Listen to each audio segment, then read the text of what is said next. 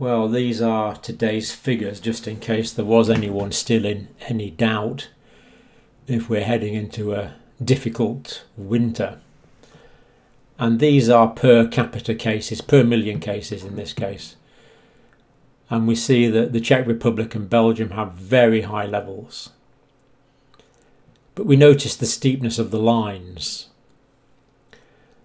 Cases are going up very quickly. Then France and the Netherlands next in their own little cluster there. Then there kind of becomes a, another group here in per capita figures Spain, Poland, the United Kingdom, Italy, and the United States. In terms of per capita figures, we could call them another cluster, I think, there really.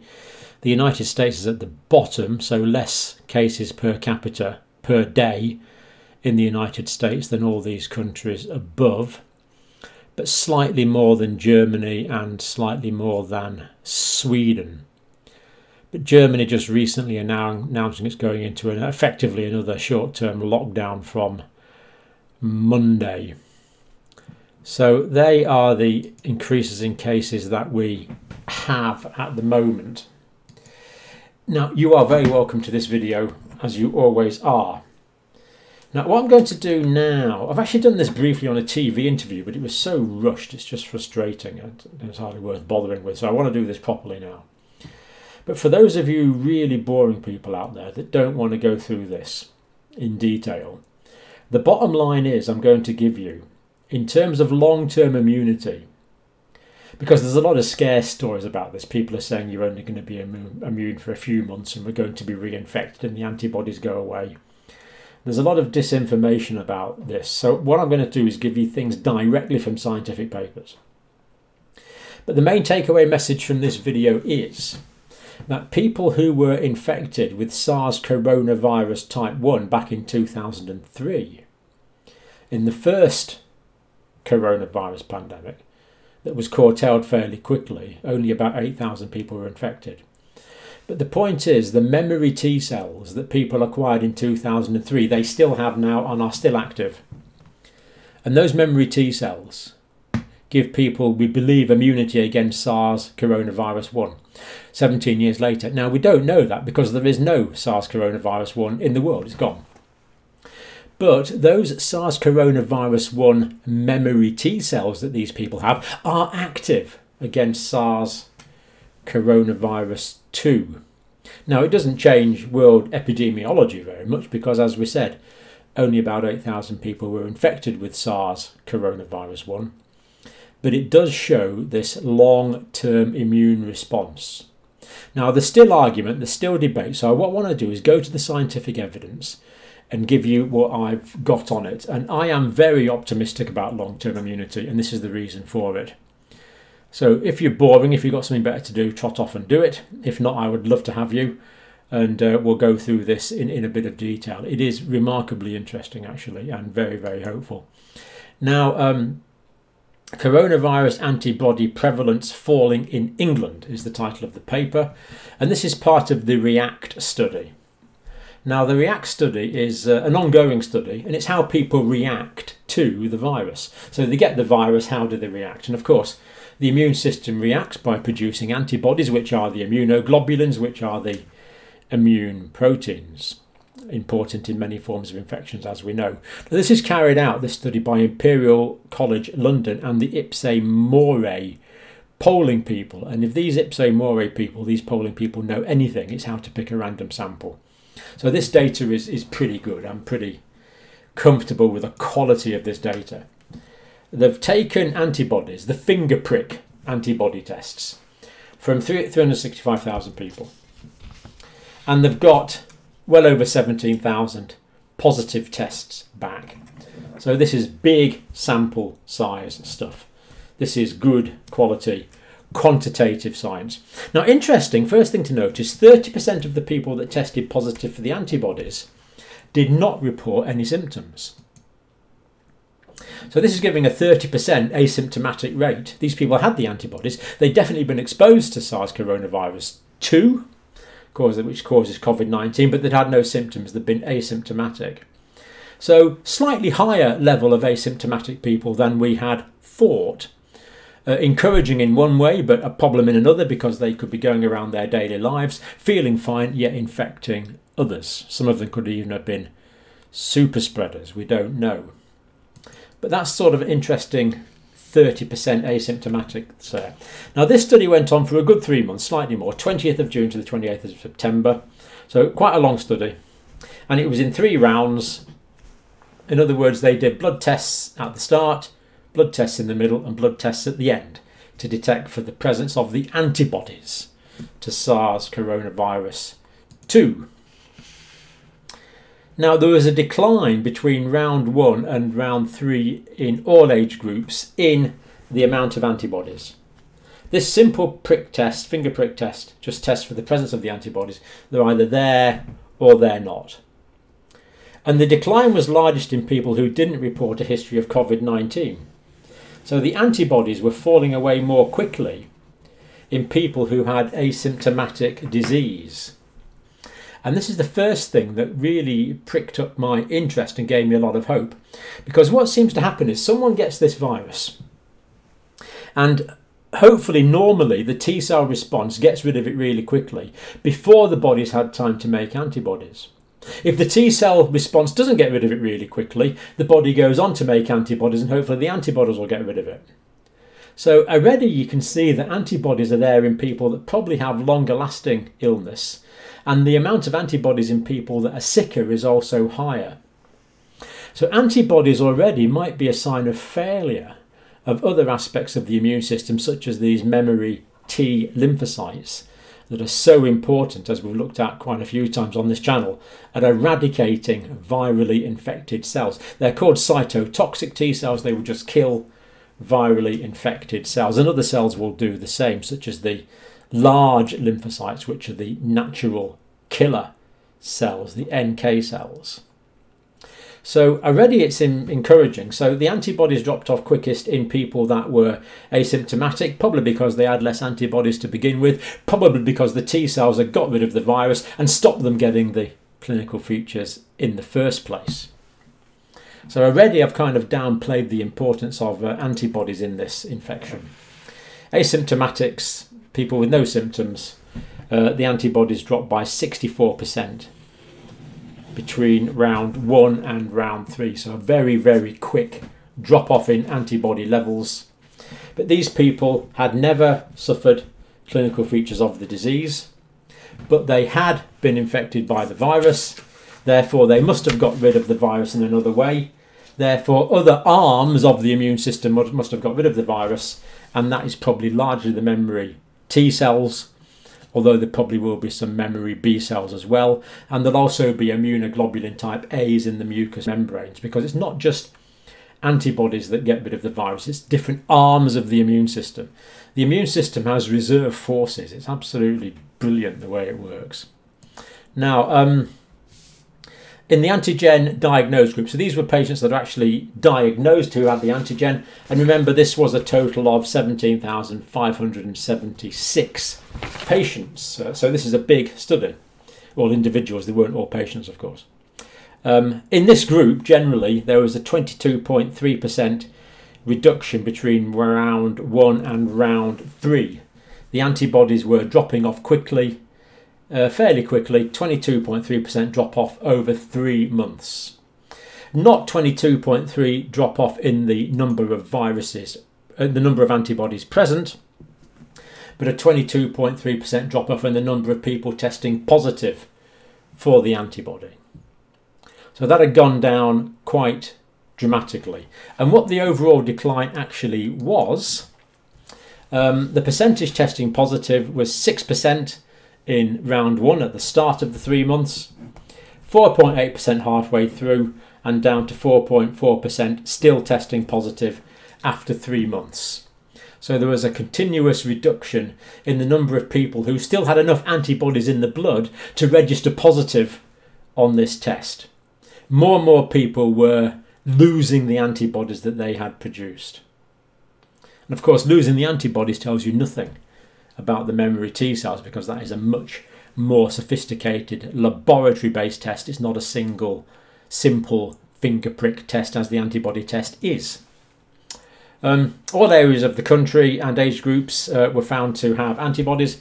London was the highest. They found 9% in London at round three. Now, it probably had been higher in London. It was probably higher than that. I've seen estimates of about 18%, but of course the antibodies are lost over time.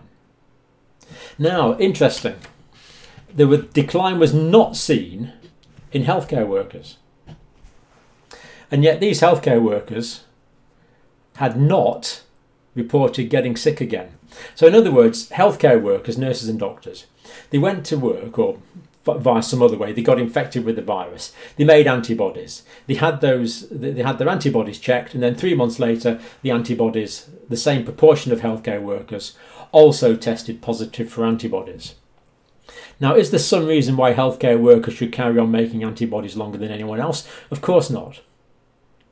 So, why did the healthcare workers have antibodies at the same level at the start of the study uh, as uh, uh, at the same level at the end of the study as at the start of the study? Well, to me, the answer is that they've been re exposed to the virus at work. When they were re exposed to the virus, they made fresh antibodies, so they were still testing positive for the antibodies, but they hadn't reported being sick. So these people had probably been re exposed to the virus. They had a form of secondary infection, uh, but they weren't sick because the T cells had eradicated it quickly, quickly enough for them not to get sick, but not quickly enough so they made a few extra antibodies. That might not be true, but that explanation makes perfect sense. So, this is very encouraging for reinfection. The vast majority of people that are re exposed to the virus will not have clinical illness based on this health worker data that we have so far. Decline was largest in people aged 75 and older. No surprise there at all. No surprise whatsoever because the immune response is not as effective in older people. It is that simple. And the antibody response is part of that. Again, it tells us nothing about the T cell response in older people. We would expect it to be less effective than in younger people, but this study simply does not report on that, so we don't know. Now, one of the lead professors in this study Paul, uh, Professor Paul Elliott, our study shows that over time there is a reduction in the proportion of people testing positive for the antibodies. So this is not testing for the number of antibodies, it's the proportion of people testing positive for the antibodies. so that's what he says, that makes sense. Testing positive for antibodies does not mean you're immune to COVID 19. Interesting. Uh, he's saying they have no evidence that antibodies are conferring immunity. Don't want to put words in his mouth, but that's interesting that he's saying that. Um, it remains unclear what level of immunity antibodies provide or for how long this immunity lasts. Okay, that is true. He's going by the scientific data. Um, but I'm going to give evidence that indicates he's being somewhat pessimistic there. Um, if someone tests positive for antibodies, uh, now this is important, I agree 100% with this. The professor again uh, they still need to follow uh, national guidelines, including social distancing, getting a swab test if they have symptoms, wearing face coverings. In other words, they have to behave as normal because there's a lot of things we don't know yet. So I agree completely for that. Now, what are the implications here for immunity? Now, this is where it gets really interesting. And first, we have to do a little bit of revision and go back to the first coronavirus pandemic. Started in November 2003, it was all wrapped up. No, started in November 2002, it was all wrapped up by 2003. So just a bit of revision on that. that that's the SARS. What's sometimes, well, it's the SARS, and it's a, it's a coronavirus. Um, and uh, that's that's all it's called. But what I what I like to do is call it the SARS coronavirus one to, to differentiate from what we have now, which is the SARS coronavirus 2. Now, this infected about 8,000 people around the world, at least, of course, there was many more than that. Again, many weren't diagnosed, 774 deaths. But the big difference with the SARS coronavirus 1, as I call it, um, the big difference is that people shed most virus when they were most sick. So you could see people that were sick and isolate them, and it was much easier to contain this virus, and it was contained. No vaccine has ever been developed for it because the infection went away. Because it was much easier to contain. It's the big difference with SARS coronavirus Two is that people spread the disease when they are asymptomatic, pre-symptomatic and minimally symptomatic. That was not the case with SARS coronavirus 1 in 2003. It was spread mostly by the sickest people. So once that was realised, it was relatively easy to isolate the sickest people. Um, now, the virus, as we said, it only was curtailed 8,000 people. Um, started in um, Guangdong in southern China. It must have flown its way to Toronto, Hong Kong, Taipei, Singapore, Hanoi in Vietnam. So got to Canada in Vietnam, but um, it was curtailed. So so so that's interesting. That was 2003. Now, why am I telling you about that? Well, there's been studies done. Uh, SARS coronavirus 2 specific T cell immunity in cases of COVID 19 and SARS. And when they say SARS there, they mean SARS coronavirus type 1. That's why it gets a bit confusing. I wish they'd call it 1 the same as me.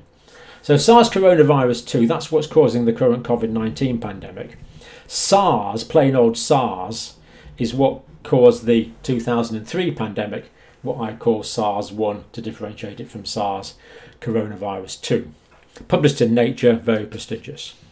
Memory T cells induced by previous pathogens can greatly influence future infections. So, without going into the immunity in great detail, these memory T cells are white blood cells that will recognize the presence of virally infected cells and eradicate that cell. Therefore, eradicating the viruses, therefore there's no living viruses to spread the infection. So, massively important memory T cells.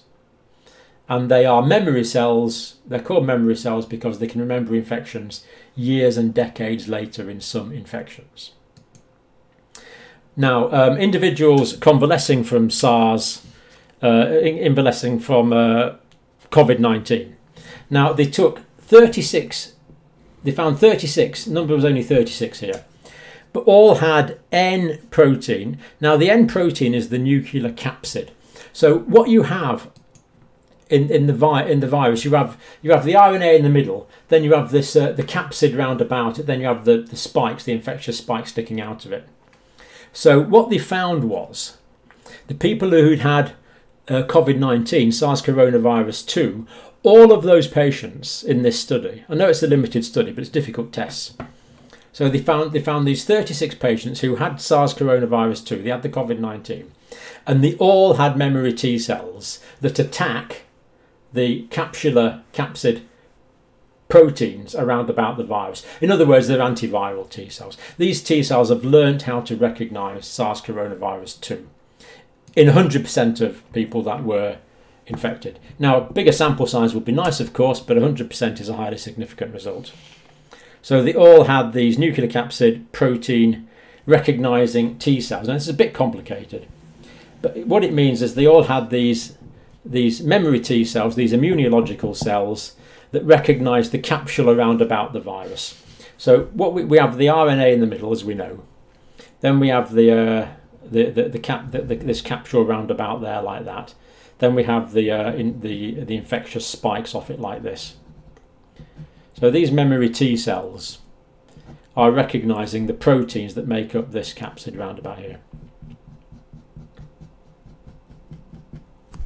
So um, that's what they're recognizing, but that's good. That will still allow them to recognize the viral fragments. So what will happen is um, here we'll have a, a cell. This is one of our body cells. Um, that's infected with the SARS coronavirus 2, very small on this scale. Um, some of these proteins here will get to the surface of the cell. Some of these uh, nuclear capsid proteins will get to the surface of the cell. The memory T cell will see these proteins on the surface and as a result that memory T cell will destroy that cell. It's just respond. So which proteins in the virus it responds to doesn't matter too much because it's going to take out the whole cell anyway. So that was the case in SARS coronavirus 2, causing the current pandemic. All the patients developed memory T cells. So that's good. Now, what about uh, patients who recovered from SARS coronavirus 1, as I call it, COV1? In other words, the 2003 outbreak, SARS coronavirus 1, 2003. Now, they only found 23 patients there, but they all possess long lasting memory T cells reactive to the N protein of the SARS coronavirus type 1. In other words, they were still able to recognize these proteins. The T, the T cells were able to recognize these proteins and therefore destroy cells should that infection raise its ugly head again. And these have lasted for 17 years. Now get this, this is this is this is just so important. The last people to be infected with SARS coronavirus 1 was in 2003. Since then there's been none. There's been no infections. So we know they kind of developed it 10 years ago because SARS coronavirus 1 didn't exist then. It wasn't in the world. So these memory T cells have lasted for 17 years. 17 years. Um, they display robust cross reactivity with the N protein of SARS coronavirus 2. In other words, the T cells in these 8,000 people or so that were infected with SARS coronavirus 1 way back in 2003, the T cells that they have produced will give them immunity against SARS coronavirus 2, the current pandemic. Now, we don't know that for sure, we haven't done the experiments, but the robust cross reactivity would indicate that these people are immune to the current pandemic because they had this infection way back in 2003 and this immunity has lasted for 17 years. And the study authors said we also detected SARS coronavirus 2 specific T cells with individuals, as I've gone to the next piece of paper, um, with no history of SARS 1 or SARS 2. So, in other words, they detected people with SARS coronavirus 2 specific T cells who had never been exposed to either of these viruses. So, first thing to point out here is that people that had SARS coronavirus 1 are still immune to SARS coronavirus 1. People that had SARS coronavirus 1 still have the memory T cell 17 years later. People that had SARS coronavirus 1 show cross reactivity with the SARS coronavirus 2. Also, there was another group of people that they found when they were doing this study, only 37 of them, but they had memory T cells specific to SARS coronavirus 2, but they'd never been exposed to it. So, where on earth did they get that, those specific T cells from? Well, what they found was that there are proteins in this nucleocapsid around about SARS coronavirus 2 that are the same as beta coronaviruses. so these people have presumably been exposed to beta coronaviruses.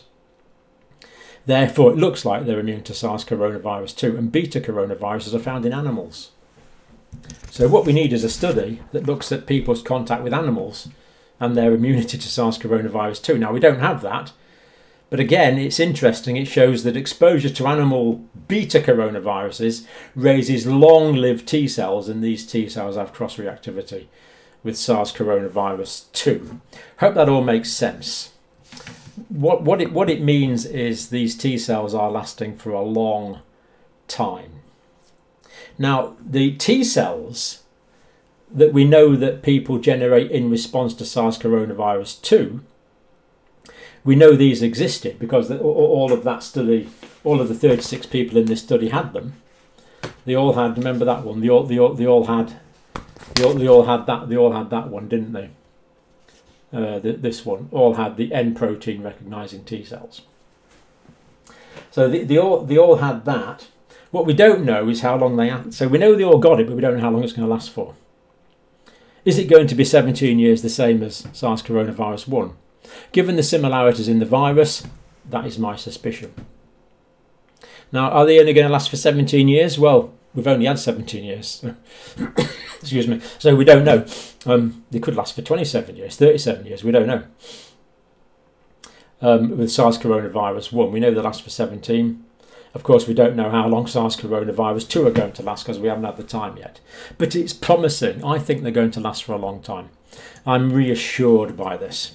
Right, and some people with no previous exposure to SARS 1 or 2 or exposure to any of contacts. In other words, they had definitely no exposure.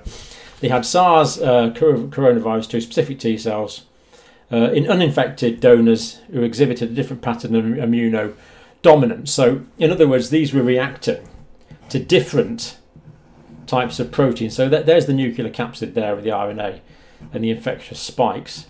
Now, there's lots of different sorts of proteins make up this capsid roundabout. Lots of different proteins. So, these people who presumably been exposed to the beta coronaviruses were reacting to different ones. This is a bit complicated, but stick with it because it's got a really important implication. So targeting different uh, proteins, different N proteins. These proteins are very, very similar to the ones in beta coronaviruses, that's why we think that. But they are not similar, homology, similarity.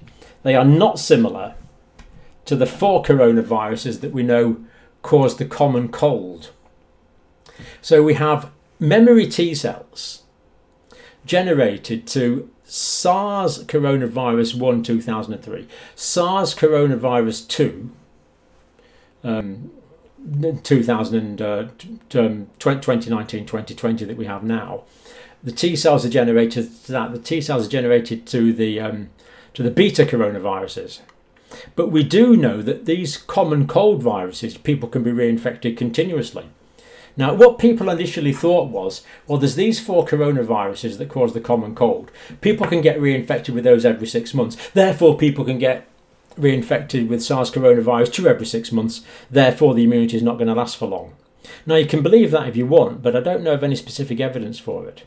But what I've given here is I've given evidence for SARS coronavirus 2 having cross reactivity with beta coronaviruses and SARS coronavirus 1 and we also know that SARS coronavirus 2 produces memory T cells. Therefore, what I'm saying is the immunological response to SARS coronavirus 2 is more similar to SARS coronavirus 1 and beta coronaviruses than it is to common cold coronaviruses. Therefore, I would expect the immunological response to SARS coronavirus 2 to be unlike the common cold viruses and to give us longer lasting immunity. Now, in a year's time, we can retest for these T cells and we'll know. As, as the latest data shows, now those T cells are still present. That's why I'm optimistic about the immunity. And I wanted to do this because there's so much fear mongering going on about this immunity not being long lasting. Um, but there's no evidence for the immunity being particularly short lasting. Um, but I believe I've given evidence for why the immunity should be long lasting based on these other viruses and things that we know. So, infection with beta coronaviruses induces multi-specific and long lasting T cell immunity against these proteins. So, long lasting. So, these two coronaviruses, similar to SARS coronavirus 1, give long lasting immunity. Thankfully. Now, last thing on this video, if you've stuck with that, well done, because I know it's complicated, but I just thought it was important to go through that. Um, what about vaccination? Well, we don't have the peer-reviewed publications on the vaccines yet, but a couple of days ago we did look at this release from AstraZeneca. Uh, the Oxford vaccine, of course, the uh, AZD1222 vaccine. And this is the paper we looked at a few days ago on this on this video. Uh, it produced a strong immune response in the elderly. Immune response was similar in all age groups, surprisingly, but that was good. Um, but vitally, it produced antibodies, but it also produced memory T cells. So this vaccine is producing memory T cells. And from what we know about the immunological reaction to this virus, these memory T cells last a long time from what we know. How long are these memory T cells going to last? You know, they could all disappear in a puff of smoke on the 1st of November. We don't know that. But I think it's very, very unlikely given what we, we know. Given what we know, I would expect they persist into the future and give longer lasting immunity. So just to summarise what we've said on this video, cases are going up as we know, um, more lockdowns are being imposed in Europe, more restrictions are being imposed in Europe. Um, ongoing situation in the United States. It's going to be a difficult winter. But I, I believe that the immune response to people that catch this virus naturally in the wild, as is illustrated by those healthcare workers, is going to be long lived. And I believe the immune response to the virus, to the vaccine is going to be long lived as well. And I think I've given evidence that supports that. And I've argued strongly against the short lived immunity response, where people, in my view, have been arguing wrongly from the four coronaviruses that cause the common cold. Right, well done. So I still believe uh, this time next year this virus is pretty well going to be history. There could be a few a few years where we get it from for a couple of years yet, but I, I think it's going to go away like SARS coronavirus one did. That's I believe that's where the scientific evidence is pointing. Now, just before we finish this video, I'm going to show you something quite amazing. Um, this is Charles has done this um, done this drawing. He said, "I've just done a quick sketch," and uh, see if you can recognise who it's supposed to be. I think that's just incredible, don't you? Let me try and put the same expression on. Maybe not quite right, but anyway, um, I just thought that was an incredible. Um, you know, I've tried drawing drawing people before, and uh, let's just say I destroy all the evidence as quickly as possible. To actually draw someone who looks like someone is just incredibly difficult. So thank you for that, Charles, and I will put a link to Charles's Instagram if you'd like to browse some more of his absolutely excellent artwork. Thank you for watching as always. If you've stayed to the end of this one, well done. And I hope you do feel, um, well, you're going to feel concerned for the short term, but I, I do hope you now feel optimist, more optimistic about the long term as, as I do.